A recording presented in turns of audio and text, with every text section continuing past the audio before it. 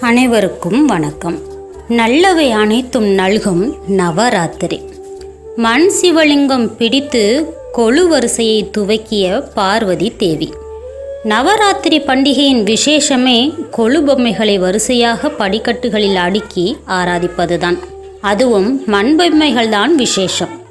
இப்படி இந்த பண்டிகையில் பொம்மைகள் சிறப்பிடம் பிடிக்க என்ன காரணம்? அரக்கர்கள் சும்பன் நிசும்பனை அழிக்க ஆதிபராசக்தியின் தோற்றமான துர்க்கை தோன்றிய போது அக்னி வாயு இந்திரன் உள்ளிட்ட தேவாதி தேவர்களும் கடவுளரும் தங்கள் சக்திகளையும் ஆயுதங்களையும் அன்னைக்கு அளித்தனர்.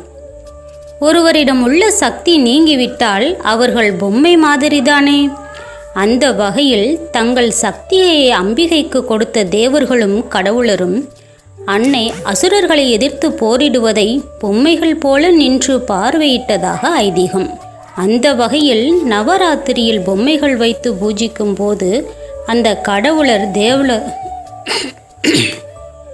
தேவர்களின் அருளும் கிடைக்கப் பெறுகிறோம். மேலும் சிவபெருமானை துதிக்க அன்னை பார்வதி தேவி மணலால் சிவலிங்க மூர்த்தம் படைத்து வழிபட்டாள் என்பது புராணம். அந்த வகையில் தேவிக்கு பிடித்த பிருத்வி அம்சமான மண்ணால் செய்யப்பட்ட பொம்மைகளை வைத்து பூஜித்தால் அவள் அருளை எளிதில் பெறலாம். மற்றொரு புராண கதையும் இப்படி உண்டு. ஒரு முறை சுரதா என்கிற மகாராஜா தன் எதிரிகளை வெல்வதற்கான உபாயத்தை தன் ராஜகுருவான சுமாதா என்பவரிடம் கேட்டான். அதற்கு அவள் தூய்மையான களிமண்ணால் அம்பிகையின் உருவம் செய்து உண்ணாவிரதம் இருந்து வழிபட்டால் உனக்கு வெற்றி கிட்டும் என்றார். அதை அடுத்து ஆற்று களிமண்ணால் காளி தேவியின் ஸ்ரூவம் உருவாக்கி ஆவாகனம் செய்து வழிபட்டான் சுரதா. அந்த பக்தியில் மனமகிழ்ந்த காளி தேவி அவனுக்கு ஜெயம் உண்டாகும் என்று வரம் கொடுத்தார். அதன் பின் பகைவர்களை மன்னன் சுரதா அழித்து ஒரு புது யுகத்தையே உருவாக்கினான் என்பது புராண வரலாறு. தேவி புராணத்திலும் என்னை ஐம்பூதங்களில் ஒன்றான மண்ணால் உருவாக்கிய பொம்மைகளால் பூஜித்தால் அவர்களுக்கு சகல சௌபாக்கியங்களும் கிடைக்கச் செய்வேன் என்று அம்பிகை கூறுவதாக உள்ளது. இப்படி நவராத்திரி பொம்மைகளில் அம்பிகையும் தேவர்களும் கடவுளரும் எழுந்தருள்வதால் தினமும் இரவில் கொழுவுக்கு ஆரத்தி எடுக்க வேண்டும்.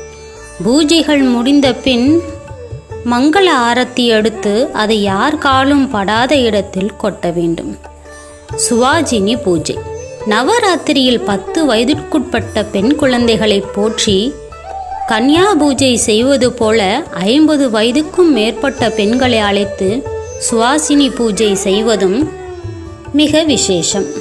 நவராத்திரியில் ஏதாவது ஒரு நாளில் ஒற்றைப்படை எண்ணிக்கையில் பெண்களை அழைத்து மலர் மாலை அணிவித்து பாத பூஜை செய்து நலங்கிட்டு அறுசுவை உணவு படைக்க வேண்டும்.